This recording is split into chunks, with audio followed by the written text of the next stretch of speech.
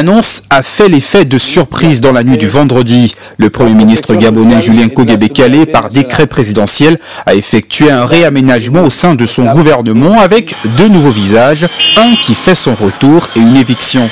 Ce matin, dans les rues de Lépreville, la presse écrite relaie l'information. Les avis sont partagés. Nous ne voulons pas les gens qui viennent seulement pour le prestige que je suis nommé ministre, je suis nommé ceci, cela. Pour moi, c'est mon point de vue.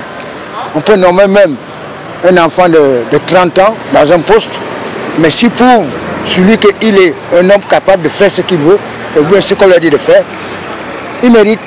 J'estime par ailleurs qu'il est important que ces membres du gouvernement et qui ont la lourde responsabilité, il est peut-être temps que les choses changent, qu'ils ne fassent pas leurs intérêts et qu'ils fassent l'intérêt du peuple gabonais.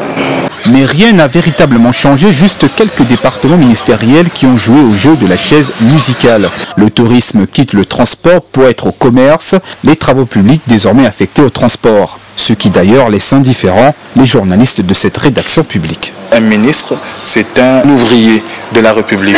Il vient pour mettre en musique, il vient pour continuer le projet.